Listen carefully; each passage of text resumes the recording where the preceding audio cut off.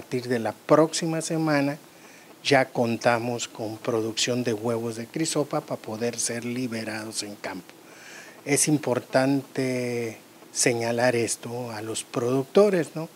que ya existe disponible esta tecnología en el estado de Campeche, en el Instituto Tecnológico de China para evitar el uso de agroquímicos en el Centro de Reproducción de Organismos Benéficos del Instituto Tecnológico de China se produce crisopa carnia para el control biológico de plagas en cultivo de maíz, hortalizas, sorgo y árboles frutales, informó el director de Sanidad e Inocuidad de la Secretaría de Desarrollo Rural, Fernando Escalante Márquez, quien señaló que resulta más económico para los productores campechanos. Indicó que esta alternativa es amigable con el medio y permite la reducción en el uso de agroquímicos, para el combate de plagas como la mosca blanca, pulgón amarillo, cochinillas, escamas, arañas y pulgón verde, que al salirse de control provocan pérdidas a los productores. Crisopa es un depredador, come los huevecillos de cualquier insecto y se come a insectos de caparazón blanda.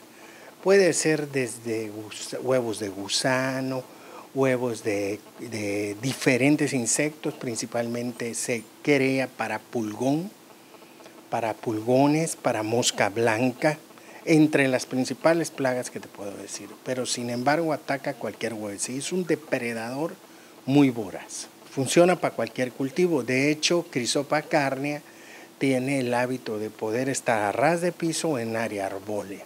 No hay problema. Con imágenes de Omar Barrera, información de Darío Zambranis, Telemar Noticias.